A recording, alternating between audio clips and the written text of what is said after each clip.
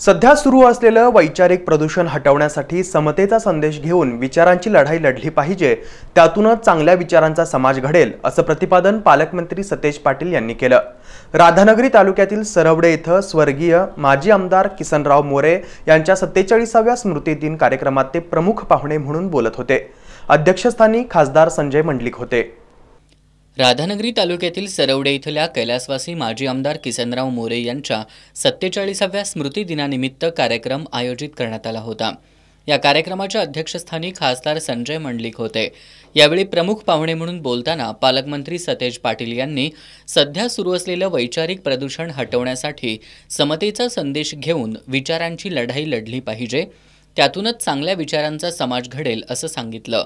चांगल्या नेतृत्वाच्या कर्तृत्वाचं स्मरण आवश्यक असून कैलासवासी माजी आमदार किसनराव मोरे यांनी केलेल्या विकास कार्याचा जागर गेली सत्तेचाळीस वर्षे मोरे घराणं करत असून हे आदर्शवत आहे असे गौरवोद्गार त्यांनी काढले.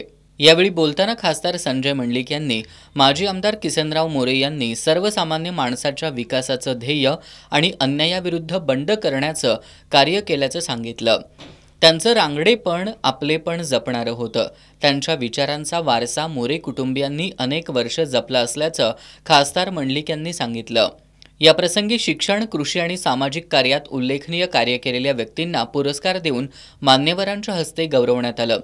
या कार्यक्रमाला गोकुळचे संचालक विजयसिंह मोरे आमदार प्रकाश आबिटकर माजी आमदार K P Patil A Y Patil Vinayak Raut Arun Dongale Udaysinh Patil Kisan Chaugale Babasaheb Patil Sadashiv Sarapale Bajirao Godhale Rajendra Pandurang Patil Nandkishor Suryavanshi K G Nandekar Vasantrao Patil आदी मान्यवर उपस्थित होते.